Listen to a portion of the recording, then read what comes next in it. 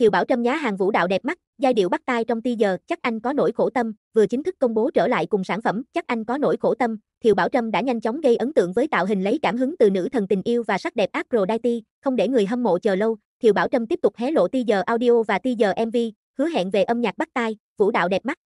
Trở lại sau hơn một năm từ mini album After You, Thiều Bảo Trâm đang chứng minh sự thay đổi trong mọi khía cạnh để không lặp lại chính mình ở dự án mới.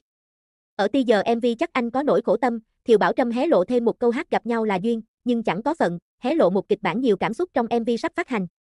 Nữ ca sĩ cũng khoe vũ đạo đồng đều, mượt mà cùng vũ đoàn, đồng thời, một số khoảnh khắc trong MV cũng được hé lộ như các cô gái bỏ trái tim thủy tinh vào hũ gạo để cùng nhau cầu nguyện, hay cảnh Thiều Bảo Trâm đang quỳ trước tượng nữ thần tình yêu và sắc đẹp nhưng lại bị tất cả những cô gái khác quay lưng.